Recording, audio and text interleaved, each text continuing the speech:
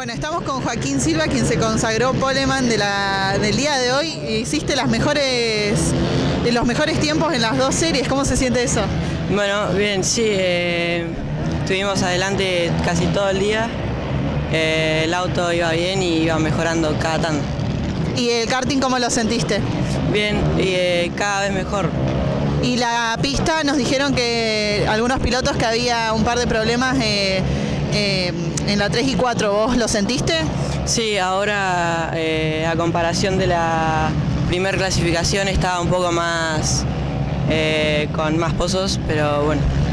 ¿Y querés mandarle saludos a alguien, quienes están atrás del karting ayudando, familia? Sí, bueno, a mi familia y a Cristian Villatoro y Charo Soles. Bueno, ¿algo más que quieras agregar? Nada más. Bueno, gracias Joaquín. Gracias.